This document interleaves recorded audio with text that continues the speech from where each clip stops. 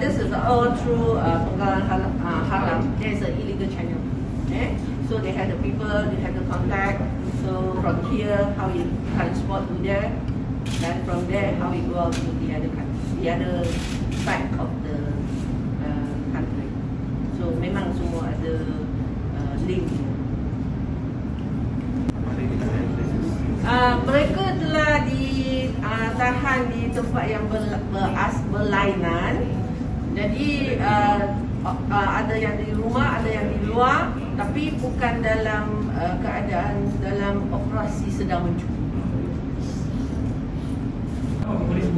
Uh, benda ni uh, the investigation tu started uh, after a case back in uh, 8 of February.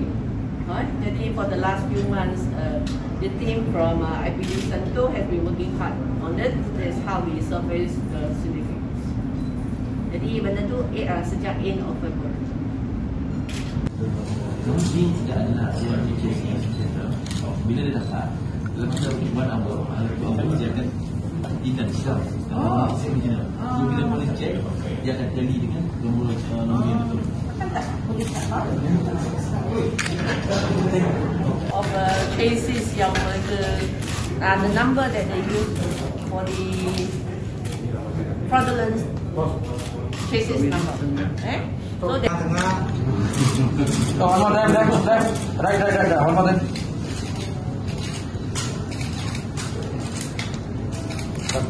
macam nak jual